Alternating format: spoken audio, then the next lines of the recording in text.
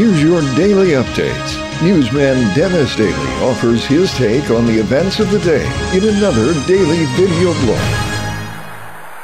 Hi, and thanks again, everybody. It's a gorgeous sunny day here in Palm Springs, California. We're standing beside Ramon Boulevard, and if you look in the distance, you see one of what we have hundreds of out here, and that is a golf course and people are out there playing this 18 hole course in what is called Cimarron Wash.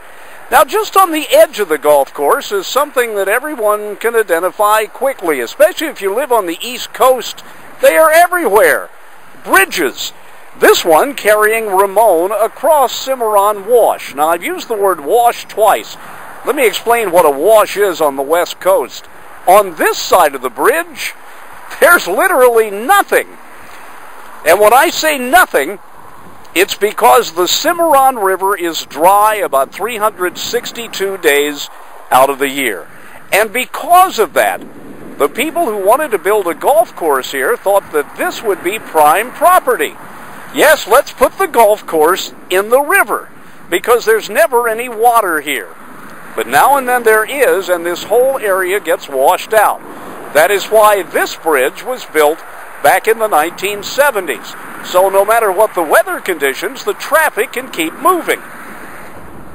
But that is not the case just two miles north of our other location. This is Vista Chino, and it goes down into Cimarron Wash. And if you look carefully, you can see sand is blowing across the road here. I have my back to the wind because if I were facing the other direction, I probably wouldn't be able to talk to you without batting the sand out of my eyes. Here's the same Cimarron wash. We're looking down toward the old location. And here is what Mother Nature can do to Vista Chino. This is a picture of the road closed by debris from a recent flood, because there is no bridge here. I'm Dennis Daily with your daily news update.